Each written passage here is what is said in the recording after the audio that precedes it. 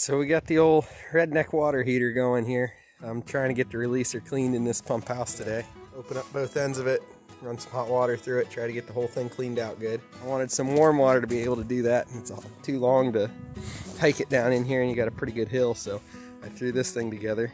Uh, all it is is old sap buckets. You can see the bottom one. I punched some holes in the bottom to let air in and a couple holes in the top to let smoke out and you start a little fire.